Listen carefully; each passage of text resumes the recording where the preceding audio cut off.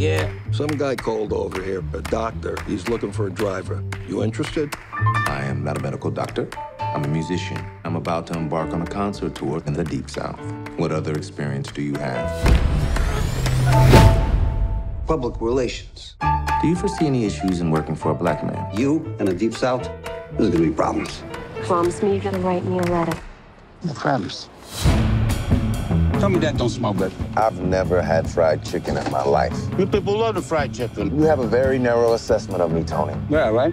I'm good. I'm only I know. We will be interacting with some of the wealthiest people in the country. It is my feeling that your diction oof, could use some finessing. Fun, but why you breaking my balls? Because you can do better, Mr. Vallelonga. Dear Dolores. I saw Dr. Shirley play the piano. He's like a genius, I think. Come on, take it easy. I prefer not to get grease on my blanket. Ooh, I'm gonna get grease on my blanket.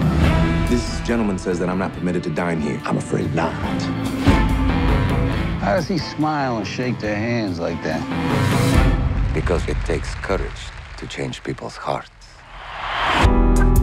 What are you doing? A letter. May I? Dear Dolores, sometimes you remind me of a house. You know this is pathetic, right?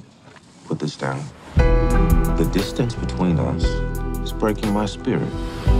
Falling in love with you, Was the easiest thing I have ever done. P.S. Kiss the kids. that's like clanging a cowbell at the end of Shostakovich's Seven. That's good. It's perfect, Tony. Come on, get out now. You never win with violence. You only win when you maintain your dignity. You don't know your own people. You, Mr. Big Shot, doing concerts for rich people. So if I'm not black enough and if I'm not white enough, then tell me, Tony, what am I?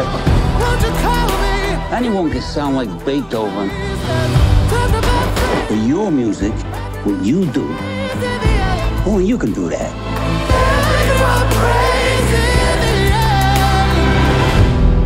What do we do about the bones? We do this.